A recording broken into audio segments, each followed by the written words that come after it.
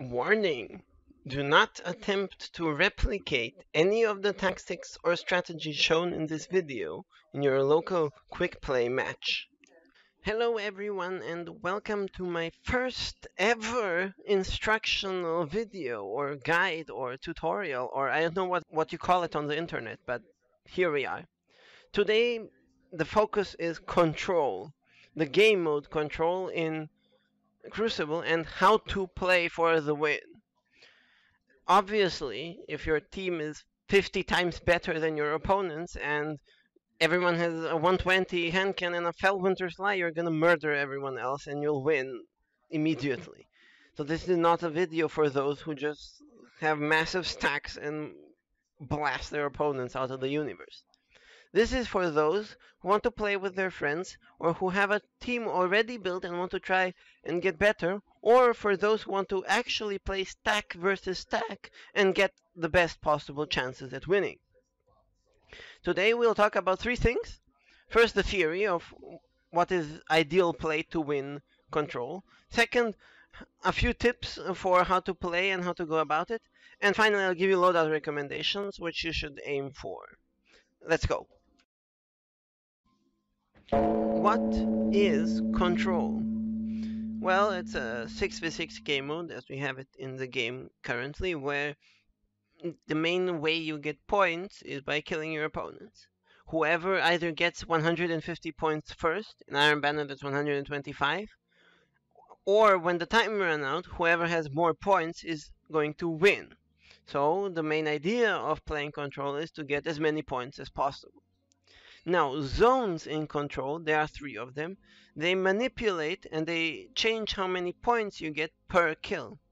Without any zones, you'll get one point for, your, for a kill. One zone doesn't change that, it's still one point per kill. Two zones, however, which we call advantage, uh, gives you two points for a kill, and having a power play, or in Iron Banner it's known as a hunt, will give you three points per kill. Clearly, capping zones is a vital step to winning control, but more on that later. What we have to uh, also remember is that there is an additional objective, which is heavy ammo, which will again give us a lot of kills, again giving us a lot of points. Um, finally, a thing to pay attention to is that since it is a 6v6 game and you have many teammates, but also your opponents have many opponents. Okay, that makes sense. So uh, we will be playing it slightly differently to 3v3 and we will get, be getting a higher kill volume than say in a Trials of Osiris match.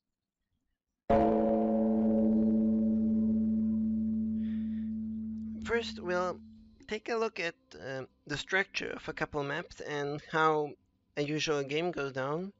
But first let me just mention I got these uh, images you're about to see from the Steam page of Destiny 2 and the, the respective guy, guide on Steam was created by this guy called Daki. So many thanks for the maps.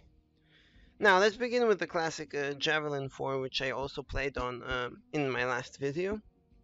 And let's think about what happens uh, once the game begins. Okay, so six players, one, two, three, four, five, six, spawn on both sides where uh, these IS symbols are noted, meaning initial spawn. Uh, and they usually capture their main flags. They cap A, they cap C, and uh, the other flag remaining is at B, which is the clear, clear objective here. Also, across rocket to B is the heavy ammo, which, as I said, is the only other objective in control. So a usual match goes down something like this. People from A rush out through pipes into the outer ring. Some people from C, they usually go to center pad or they go outside via these stairs to the deck and fight here uh, uh, along the rock wall. Uh, usually the outside, meaning uh, this area, is taken by pulse rifles, sniper rifles, people looking to get into long range duels, and the inner circle is usually occupied by medium to short range weapons like SMGs, shotguns, and so forth. Now, uh, if at the beginning of the game say you are one of these players. Let's say you spawned on A, for example. That's the better spawn, which I'll get to shortly, but say for argument's sake you're on A. I don't know, you have, before seeing my video, a little idea of how to win, so I don't know, you might have a hand cannon and a shotgun. Usually, hand cannon shotgun players go somewhere here. You hope that an opponent will peek somewhere here, here, maybe also here, and you're trying to get into a duel. Uh, should you die, say for example here, since the majority of your players are in the left part of the map, and since the spawns on this map are heavily weighted, it's most likely that you're going to spawn somewhere up here. Um, uh, to the contrary, if you were on the other team and you, say, went out somewhere here and died, you were most likely going to spawn back here. This is what we call the initial state of any control match, where the spawns are still weighted, uh, one team on on the left side and one other team on the right side. This is how Javelin looks like. The center of symmetry, the axis of symmetry here is more or less this diagonal.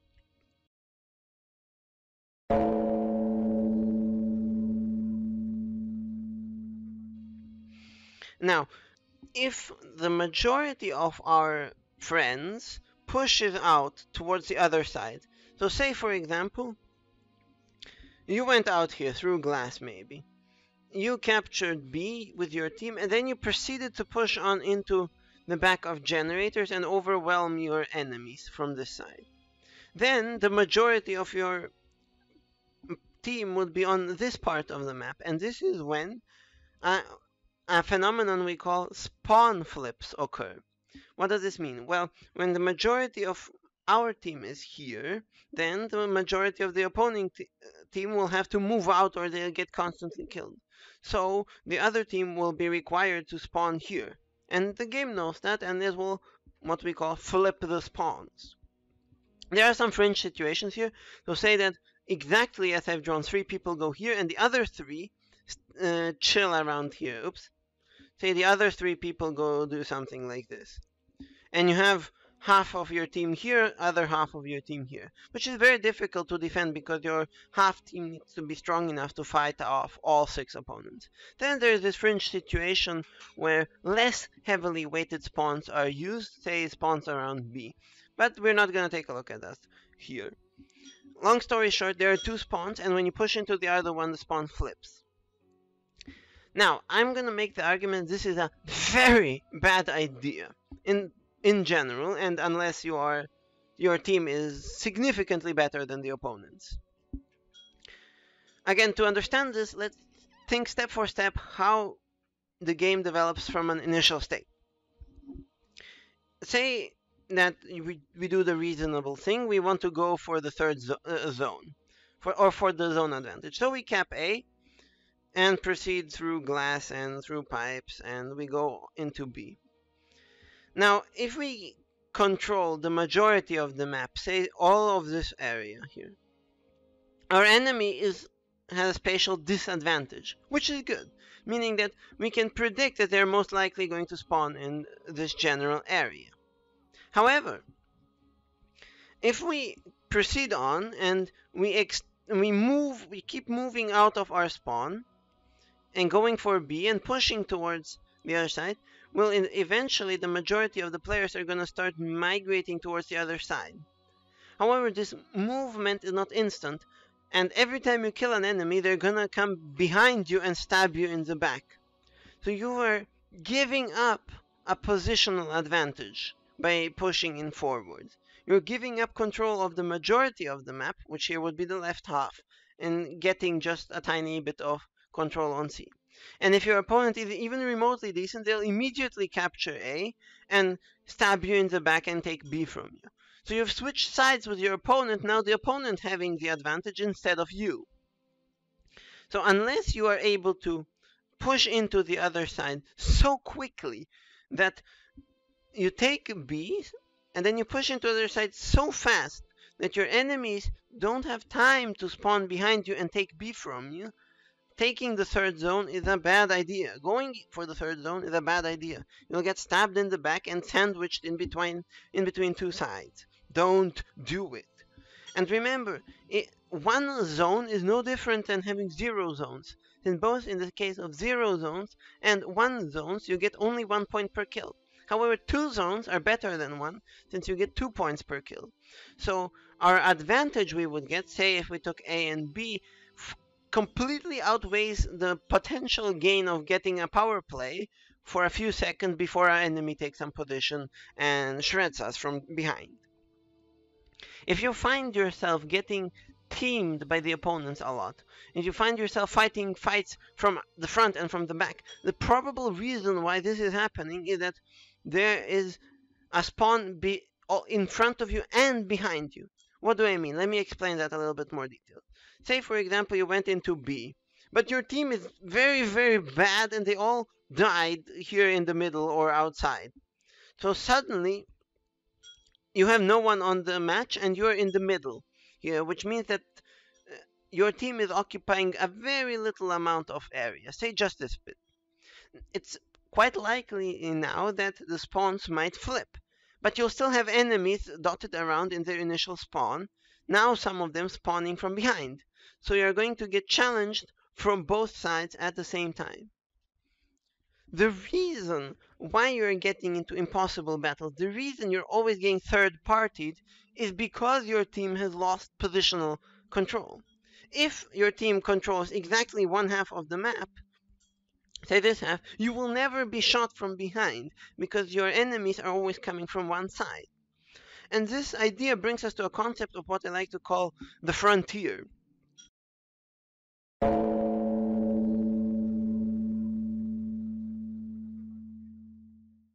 Say that you and your enemies occupy two large bits of the map. The frontier is the small zone in between your two occupied areas where most of the fighting happens. So here I marked it in green. Obviously, usually the frontier is a very dangerous zone because you're going to get shot from multiple sides and the enemy is holding that zone very, very strongly. The battle develops by simply the frontier moving. So initially, you have exactly this bit and this bit controlled by the enemies, with the rest here being neutral zone, basically no, no man's land. Obviously, whoever is the first to get there will occupy it, but whatever. So, say the frontier is in the beginning, somewhere around here. Now, by pushing into B, say from A, we are bending that frontier this way. And now if I reuse red, we're extending our uh, area of control, our region of control, and moving the frontier towards the enemies. We are advancing.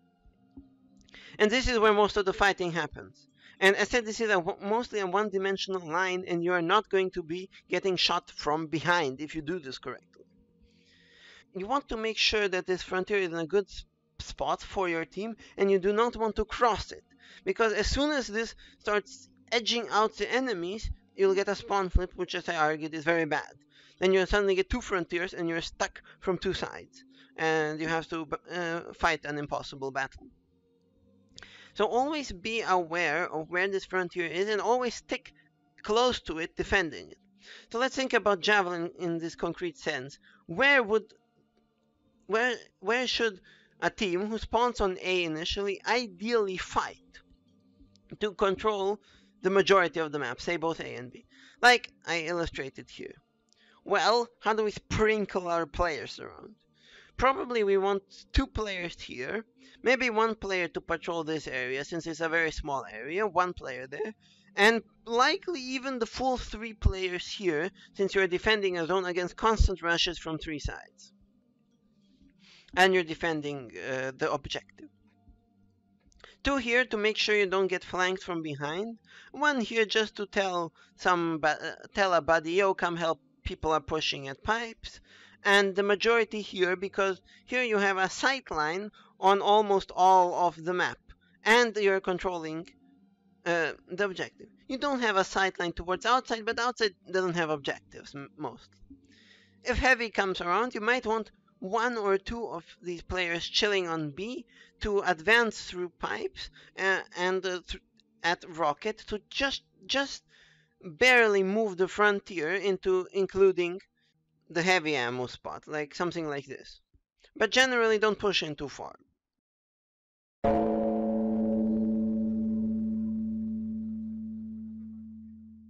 On almost every map, there is one advantageous spawn which you are praying to RNGesus to get off the start of the map. As I've been drawing on Javelin, that's the A spawn, since the path towards B from the initial spawn is shorter and is much much less risky. To get from the initial spawn of C to B, we need to go all the way around here which either involves us putting ourselves in the outer ring or taking a detour via generators.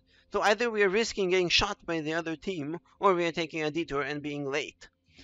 Which is why a spawn flip in very controlled circumstances can be a good thing.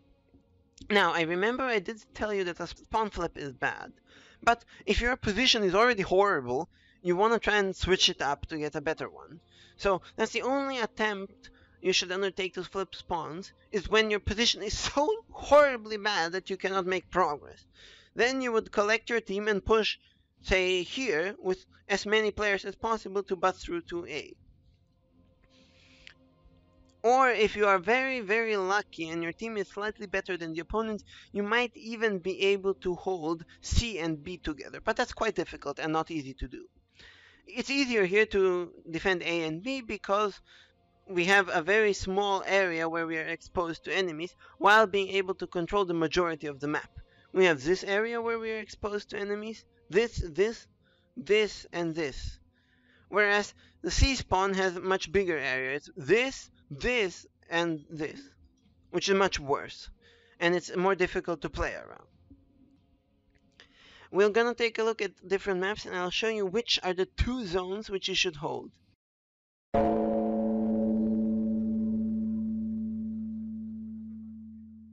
Again, avoid getting the third one because you'll flip spawns and give up your positional advantage.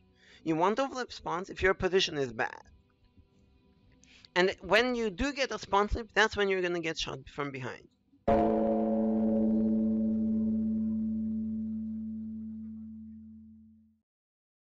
Okay.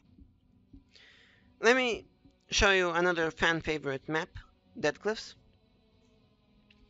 Now, everyone loves to play this map for scrims, for everything, but most people don't even know what they're doing. So let's analyze this. Here are the initial spawns, there and there. This is uh, where C is at, this is where A is at, and this is where B is at. Uh, as you can tell, the outside lane is very long, so usually people with pulse rifles or long-range weapons try to occupy this lane and this lane, because you can see very far from it and get long range duels. People looking for shorter range duels often uh, like this area of the map where the fights are closer. Okay.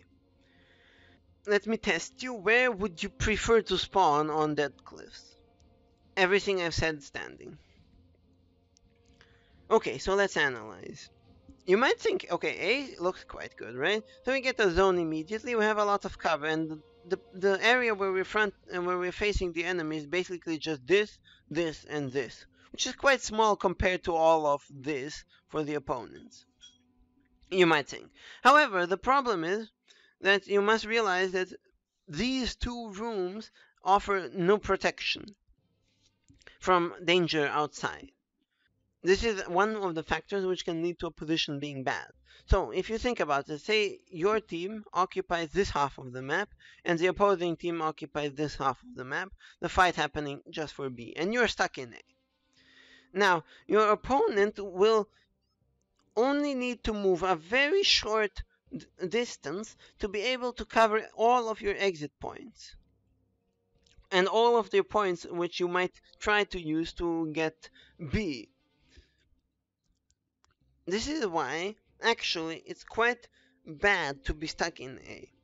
You have very little, you need to move a lot to be able to confront your enemy, and your enemy has an easy escape. Also, your enemy has a very long sight line on A, Remember that I pointed out that snipers and pulse rifles love to use this lane? Well, it's not too hard for an enemy to go get from here to here. And if you spawn here, and the spawn being very heavily weighted, you're immediately getting shot from here, which is a very, very bad thing. Also, if you spawn somewhere here, you're being shot at basically immediately with little to no cover. This is why on Dead Cliffs you want to get C and B. This is the better, the best position for you is this. With the frontier, as I put it, being here. If you're spawning on A, forget about your zone, push to C, and then try to get C and B. Let's go another one. Next one is Burnout, also a fan favorite. Now, which spawn would you prefer to have? Which of the sides of the map, this or this, would you prefer to have? Here is heavy. Um, which side would you prefer? Well, here it's quite obvious. You would prefer A and C. Why? Because actually, you're able to keep a very small bit of the map for yourself while seemingly giving your opponent all this area to work with if you keep the frontier at this position here, while you keep everything you need to win at your doorstep.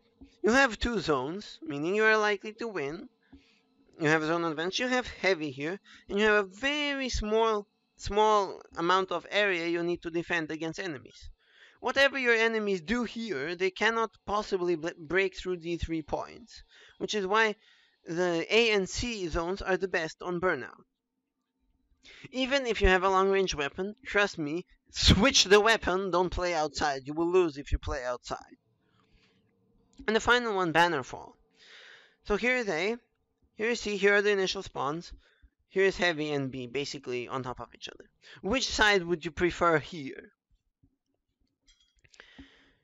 Well, this is actually a very nasty question here, and the reason why this is difficult is that the map is symmetric. It's symmetric around this axis. There's almost no difference to the side of the maps. I say almost because there are some differences. For example, sniping from here to here, you have a very, very, very tight angle which goes through this window across this edge and snipes whoever is standing on this platform. So this might be an advantage you enjoy, and this is why you might want to cap C. But also A has some other advantages, mainly this spawn, if you get caught in your spawn unprotected, is slightly easier to defend. All in all, in this map, it's very difficult to have a positional advantage because both positions are good. So you want to keep the frontier looking something like this. Okay, here you want to control just a small majority of the map so that your opponents can keep spawning here. So this is as far as strategy goes. Let me just reflect quickly for you. Don't push the third zone unless your current position is very, very bad and you want to change it.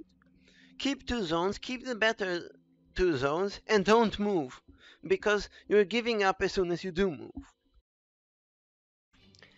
So here we are at the end of the video. That was how to develop a winning strategy in control.